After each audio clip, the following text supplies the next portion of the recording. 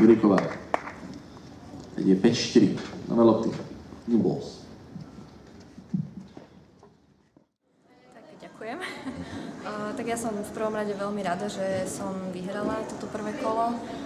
Uh, s mojím výkonom som tak spokojná 50 na 50, lebo striedali sa tam aj momenty, kedy to bolo super, chodila som si pre body aj viacej na sieť a niekedy to bolo zase také slabšie, ale celkovo to hodnotím pozitívne, vyhrala som a to je dôležité, som rada. A superku si poznala, alebo bola pre teba úplne neznáma? Superku som ako herne vôbec nepoznala, viem ako pomene sa poznáme z videnia a tak e, z turnajov, ale čo sa týka hry, tak to som vôbec nevedela, že čo ma čaká. Minulý rok sa ti tu v Trnave podarilo z kvalifikácie pre boja do hlavnej súťaže. Herne sa to dá ako porovnať s minulým rokom? Uh, tak uh, herne, no.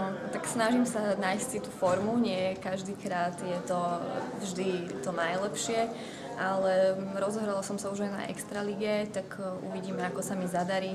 Um, teraz máme také obdobie také školské a všetko robím štátnice, ale Uh, takže som sa nejako extra nemohla pripravovať, ale ja sa snažím každým dňom zlepšovať tú svoju formu a uvidíme, ako to pôjde ďalej. Dúfam, že sa mi bude dariť ako minulý rok. Ešte prezrať, čo študuješ?